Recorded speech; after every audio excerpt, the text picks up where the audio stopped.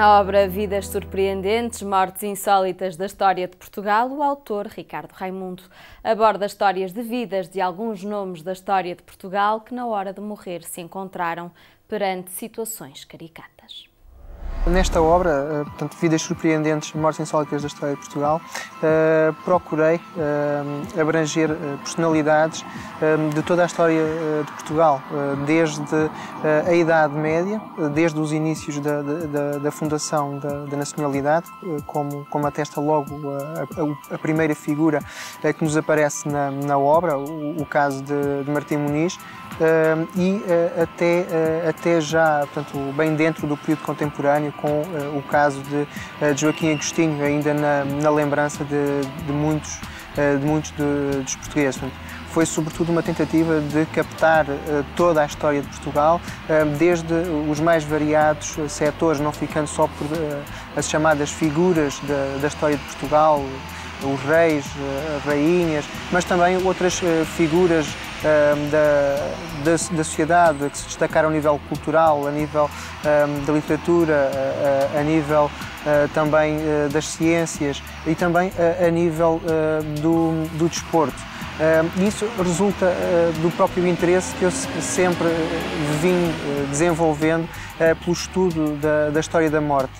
Por que não tentar tornar um, um tema que, por norma, é um pouco denso e que um, a que todos nos causa eh, um certo eh, desconforto eh, pensar na morte, porque não aliar, aliar se calhar, uma dimensão um pouco mais, mais descontraída, que, pensar um pouco nas, nas mortes que ocorreram de forma insólita, muitas das vezes quase disparatada.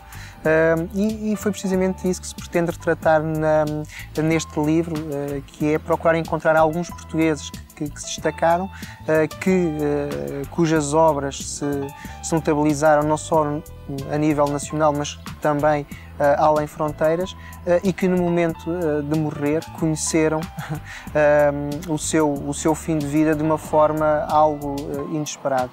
Uh, esse inesperado resulta não só da própria forma como, como aconteceu, estou, por exemplo, a lembrar-me uh, do caso de, do Almirante Reis, uh, uma figura que estava envolvida na, na, na, Revolução do 5 de Outubro, que iria implantar a República em Portugal.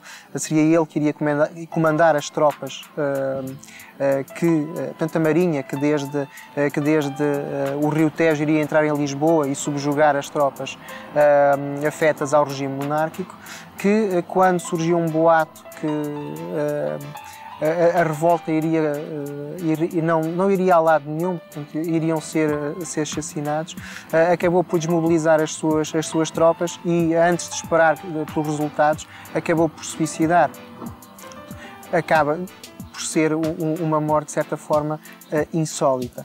E o outro tipo de casos que também estão refletidos neste livro resultam de ou melhor, considerei-as insólitas uh, pelo facto de não refletirem uh, a grandeza e uh, a importância que as personagens tiveram em vida.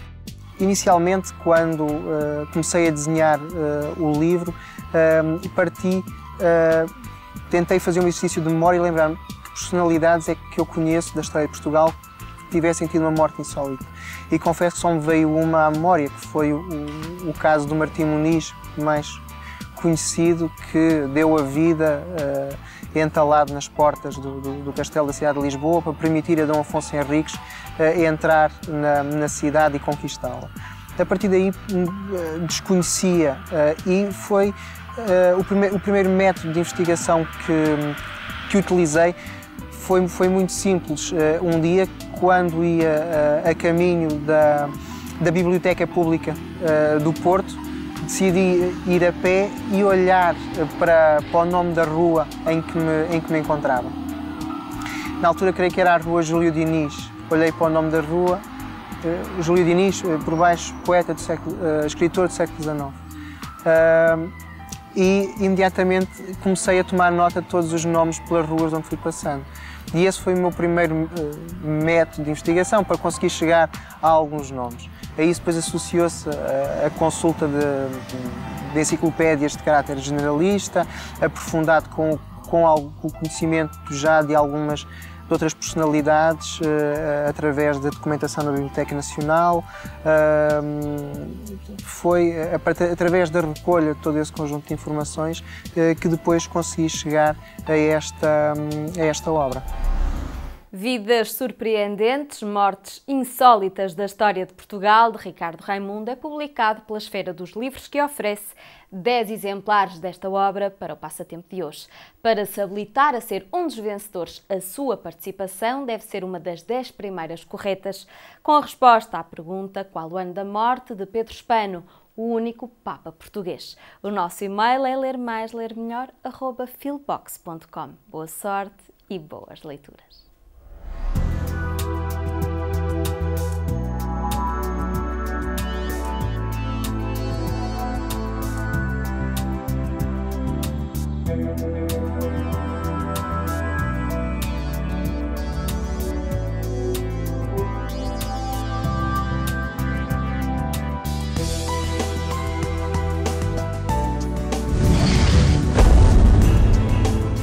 Programa apoiado pelo Plano Nacional de Leitura.